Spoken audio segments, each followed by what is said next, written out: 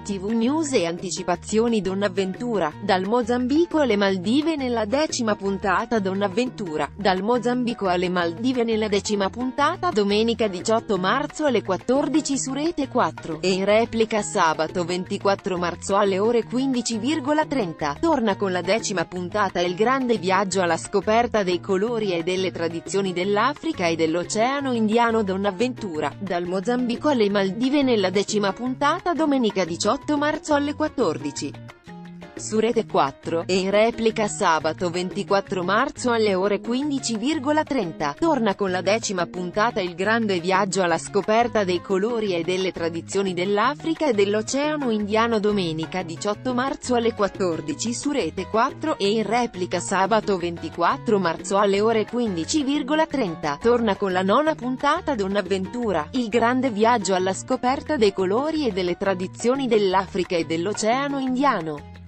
Nove ragazze unite dalla per il viaggio e l'avventura che ci faranno conoscere dei luoghi meravigliosi, sia dal punto di vista naturale, sia dall'asso umano.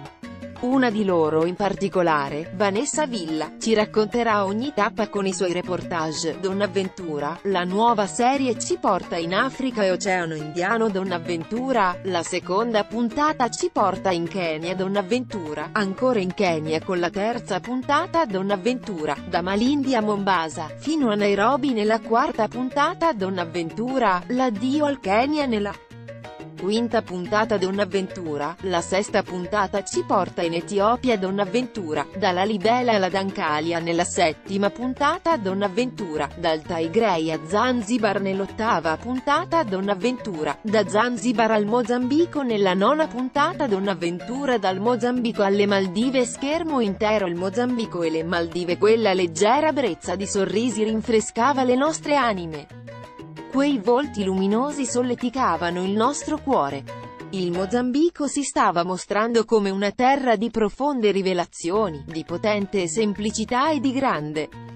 Era un luogo magico, dove la natura e le persone parlavano lo stesso linguaggio. Dove il vento e il mare si fondevano in un dolce canto. A bordo di un minuscolo aeroplano volammo verso il blu dell'oceano. Sotto di noi c'era solo il mare, infinito e profondo, delle piccole nuvole e la chiara luce del sole africano. Eravamo curiose di conoscere meglio quel territorio così pacifico e armonioso. Pensierose, fummo riportate alla realtà da alcune sagome in lontananza. Quelle macchie chiare, a mano a mano che ci avvicinavamo con l'aereo, si definivano sempre di più, fino ad apparire per ciò che erano, delle lingue di sabbia bianca e impalpabile. Soffici miraggi in mezzo al turchese cristallino dell'Oceano Indiano, rapite da quel paesaggio, non ci accorgemmo neppure di essere arrivate a destinazione. Atterrammo in una pista sterrata, tra sassi e terra rossa.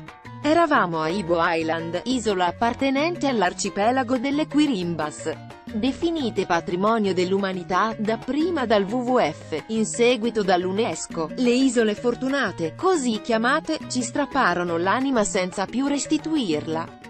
Tutto aveva il sapore nostalgico del grande dominio portoghese, ma pur sempre prevaleva la gioia e la luce in quei luoghi. Il Mozambico ci aveva regalato più di quello che ci aspettavamo. Inaspettato, potente, incontaminato, vero, sensibile. Era diventata la terra da non lasciare più. In un soffio volammo a Dubai, tuffandoci nella tecnologia e nell'alta velocità della società moderna. Ancora un po' stordite dal contrasto fra la natura incontaminata africana e i ritmi più moderati, fu come ricevere una scarica elettrica di energia forte e viva. Prendemmo un ennesimo volo, in direzione est, questa volta. Ci aspettavano le isole dell'amore, del cuore, degli innamorati, e non le avremmo incontrate ancora in Africa, ma dal cuore dell'Oceano Indiano.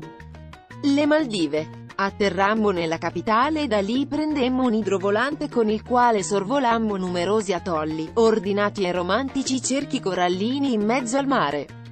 Lontano vidi una piccola isola, e minuscola e attraente. Era un'isola deserta, un luogo remoto e unico, dove stabilimmo per un po' il nostro campo base. Gli idrovolanti erano diventati per noi così familiari da prenderli tutti i giorni per esplorare le isole di quel poetico arcipelago, approdammo a Tudufushi e a seguire a Kudaura, due bomboniere immerse nell'oceano, isole che un po' si presero cura dei nostri cuori.